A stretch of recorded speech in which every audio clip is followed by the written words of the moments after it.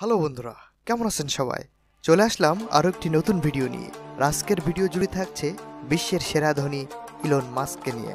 Elon Musk, এর পূর্ণ নাম ইলন রিব মাস্ক।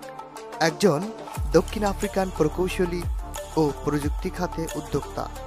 তিনি মহাকাশ ভ্রমণ সংস্থা স্পেস এক্সের সিইও এবং সিটিও বৈদ্যুতিক গাড়ি প্রস্তুতকারী প্রতিষ্ঠান টেসলা মোটরসের সিইও এবং পণ্য প্রকৌশলী সেলার সিটির চেয়ারম্যান দি বোরিং কোম্পানির প্রতিষ্ঠাতা।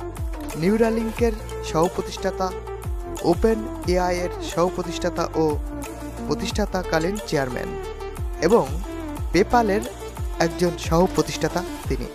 এছাড়াও তিনি হাইপার লুপ নামক কল্পিত উচ্চ গতিসম্পন্ন পরিবহন ব্যবস্থার উদ্ভাবক। দুই হাজার আঠেরো সালে Elon Musk fellow of the Royal Society নির্বাচিত হন। একই বছর ফোবর্স সাময়িকী বিশ্বের সবচেয়ে ক্ষমতাবান ব্যক্তি তালিকায় পঁচিশতম স্থানে তার নাম ঘোষণা করেন। দু সালে ফোবর্সের আমেরিকার সবচেয়ে উদ্ভাবনী নেতৃত্বের তালিকায় যৌথভাবে প্রথম স্থান অধিকার করেন।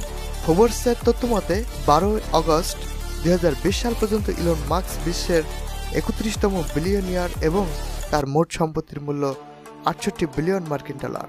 দর্শক, তবে বর্তমানে সাত জানুয়ারি দুই হাজার একুশ সালে একশো পঁচাশি বিলিয়ন মার্কিন ডলারে উন্নীত হয়েছে। ইলন মার্কসের মতো একজন কানাডিয়ান ও পিতা একজন দক্ষিণ আফ্রিকান। তিনি দক্ষিণ আফ্রিকার পিটোরিয়ার বড় হয়েছেন।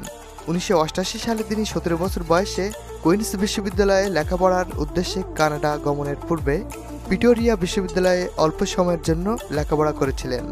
দুই বছর কুইন্স বিশ্ববিদ্যালয়ে লেখাপড়া করার পর পেনসিলভেনিয়া বিশ্ববিদ্যালয়ে স্থানান্তরিত হন এবং অর্থনীতি ও পদার্থবিজ্ঞানে স্নাতক ডিগ্রি লাভ করেন। ইলন মার্কসের জন্ম উনিশশো একাত্তর সালে, আঠাশ জুন। দক্ষিণ আফ্রিকার পিটোরিয়ায় তার মাতার নাম মায়া মার্কস যিনি পেশায় একজন মডেল ছিলেন।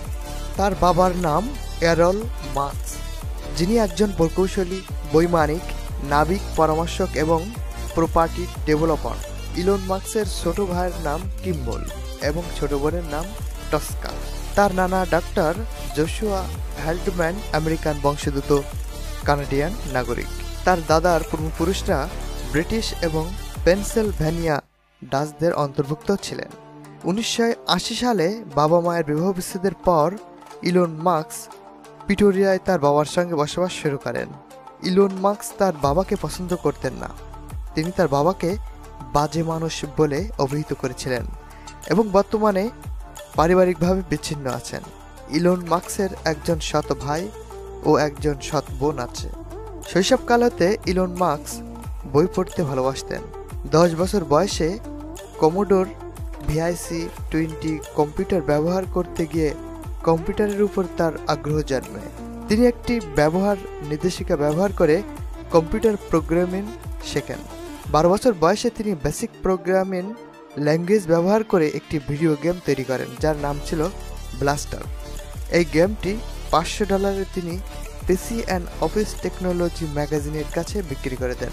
ছোট থাকতে ইলন মার্কস আইজাক অ্যাসিমভের ফাউন্ডেশন সিরিজের বই পড়তেন, যেখান থেকে তিনি শেখেন সভ্যতার বিকাশে অন্ধকার যুগের সম্ভাবনা ও স্থায়িত্বকাল কমাতে পদক্ষেপ নেওয়া উচিত।